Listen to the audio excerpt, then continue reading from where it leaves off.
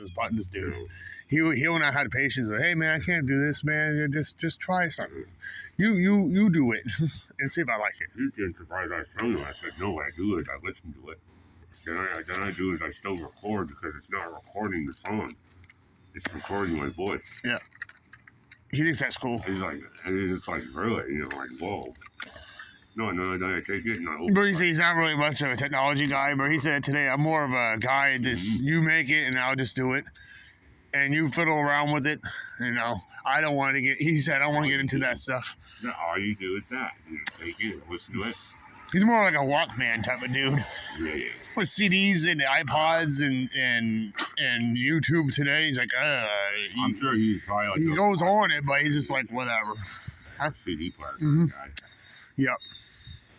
Yeah, the CD player Walkman guy. Yeah, I Just hit that. play and it goes. That's all. Fast forward or skip. None of this That's it. uh, other stuff that they got out. No, he he did say